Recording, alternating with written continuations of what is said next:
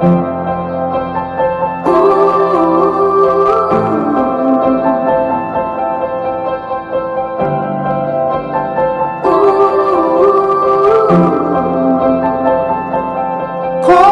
your eyes, get out of your skin.